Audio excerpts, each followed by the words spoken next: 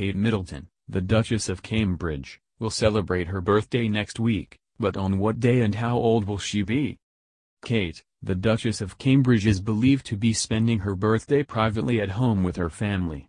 The mother of three has her hands full with youngest child Prince Louis at the moment as he is only eight months old.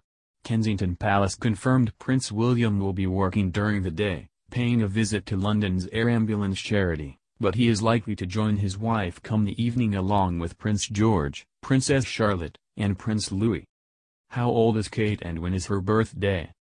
Kate will turn 37 next Wednesday. The Duchess was born on January 9, 1982.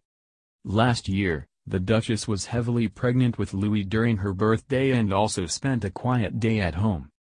At Christmas, Kate was seen attending church in Sandringham with William, Meghan Markle, and Prince Harry.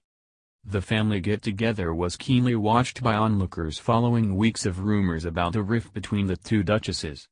All gossip was swiftly put to bed, however, after the two women looked at ease in one another's company as they walked side by side. Therefore, Prince Harry and Meghan Markle could well pop by the Cambridge home on Wednesday to pass on their best wishes to Kate. A source told U.S. publication U.S. Weekly the Queen is happy the two women have put their alleged differences aside after having reached her limit with all the drama. The insider said of the head of Monarch, she'd reached her limit with all the drama. She desperately wanted Meghan and Kate to make up and she got her wish. Who is older, Kate or Meghan? Kate is slightly younger than her American sister-in-law Meghan Markle.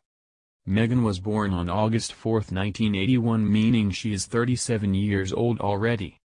The age gap between the pair is only 5 months and 5 days. But while Kate was born in Berkshire, Meghan's upbringing could not have been more different. The former U.S. Suits actress was born and raised in sunny Los Angeles, California.